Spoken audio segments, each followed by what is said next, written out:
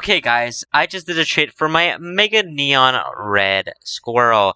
I traded it for a Tombstone, a Neon Fly Ride Squirrel, and a Mega Fly Ride Wolf. Let me know down in the comment section if this is a win, fair, or lose. I think it's a big win, but I want to hear your opinions about this trade, so let me know.